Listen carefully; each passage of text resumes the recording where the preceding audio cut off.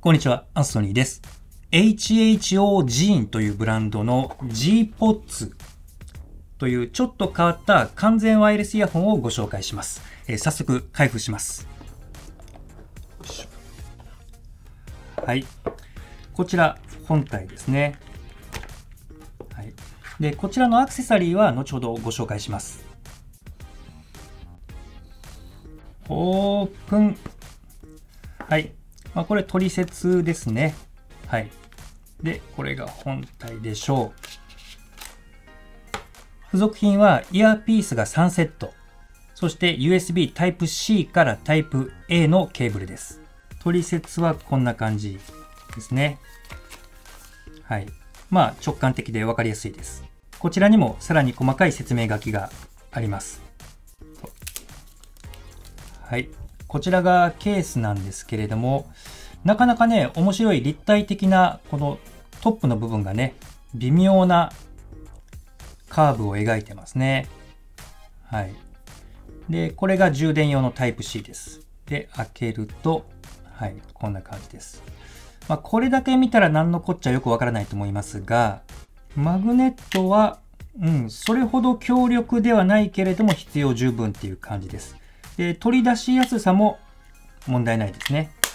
アップで見るとこんな感じです。はい。うん。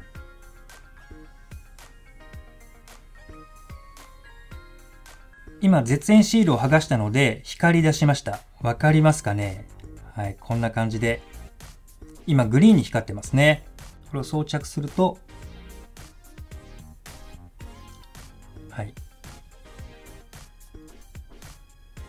こんな感じです。照明半分落としました。こんな感じです。うん、正面から見ても結構光ってるの分かりますね。はい、もう一個の照明も落としてみました。はい。これは暗い夜道とかでは結構目立ちそうですね。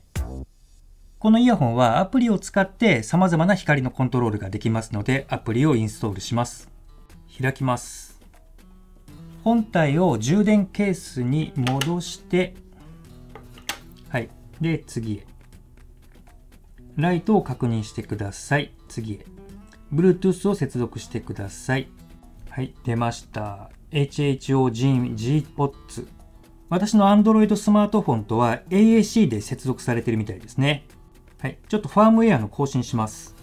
ファームウェアの更新は5、6分かかりそうですね。ちょっと待ちます。はい、ファームウェアの更新が完了して Gpods が再起動しています。ファームウェアの更新完了、ホームページに戻る。ここからが面白いところですね。もっぺん照明を落とします。はい、このように様々なモードがあります。多彩な夢。はい。まあ、これ緑だからちょっとわかりにくいかな。えー、空の上。今度オレンジですね。はい、オレンジに光りました。おお、これ、綺麗ですね。わかりにくいかな。ちょっと、オレンジとブルーの中間みたいな感じです。シュールな夢。今度ちょっと紫っぽい感じですね。もうちょっと暗くしましょうか。はい、このように、好みの色を作れるんですね。で、カスタムカラー。カラーをカスタマイズ。お、あ、なるほど。あ、こんな風に、こう、グラデーションがかったような感じにできますね。うん。今度は、えー、っと、イエロー系で、上から順番に、で、これをさらにランダムにしたりとか、ああ、面白い。紫系のランダムとか。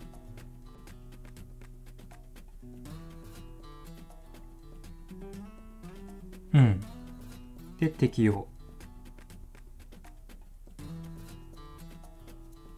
というようなカスタムができるんですね。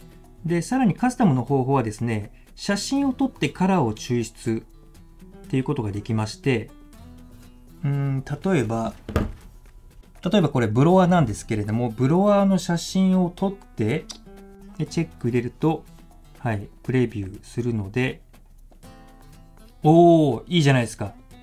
こう、自分が撮った写真の色を読み取って適用することができるんですね。今度オレンジ系です。うん、これいいですね。みたいなことができます。今、色をいじったんですけれども、次、ライトというところで、ライトコントロールのオンオフができるんですけれども、今点灯になってますが、リップル。リップルだと、こう、こう、真ん中から上と下にこう広がるようなイメージですね。で、パルス。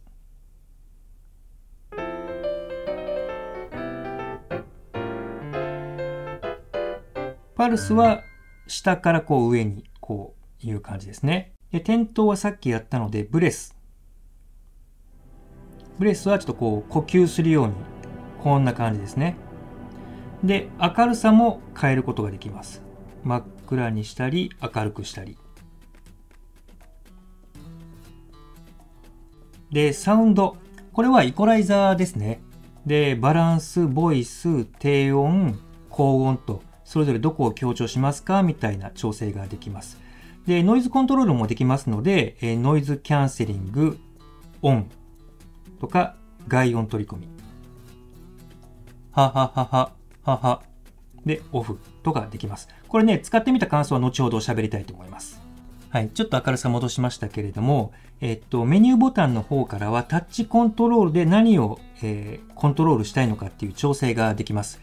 えー、っと、今、右耳してますので、右耳のダブルタップで再生停止、トリプルタップで次の曲、で、タップホールドでノイズキャンセリングのオンオフとか、いうことができますし、それぞれを、えこのように、え自分の好みに設定することができますね。ダブルタップかトリプルタップか、えタップホールド。わかりました。えっと、これ両方とも、左右両方とも音量の調整はできないみたいです。うん。えー、再生停止とかのコントロールとノイキャンや外音取り込み機能の切り替えとか、それからライトのオンオフとかっていうのが選べるんですけれども、うん、残念ながら音量の調整はできないみたいですね。上から2つ目はインイヤー検出ということで、これはこう取り外したら再生を一時的に止めるとか、で、つけたらまた再生するっていうのができますね。で、面白いのが G-PODS を探す、タップしてブザーを鳴らす。おお危ない危ない。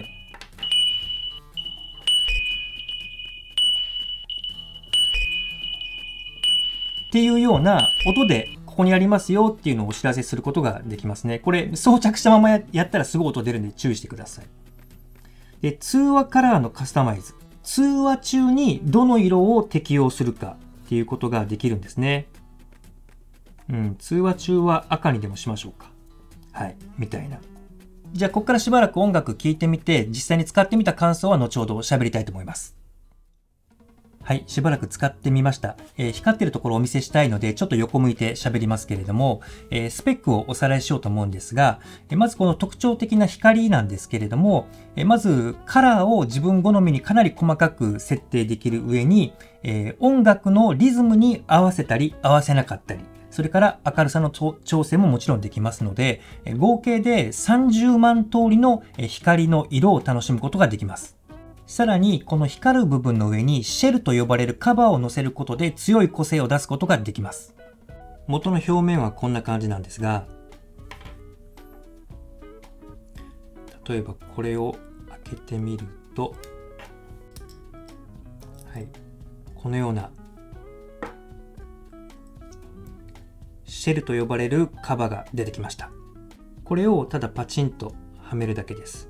カチッとはまりますね。はい、そうすると同じ光でもこのシェルを透過して光らせることになるので、えー、非常に個性的な明かりを楽しむことができます。今パルスですけれども、これをブレスにしたりね。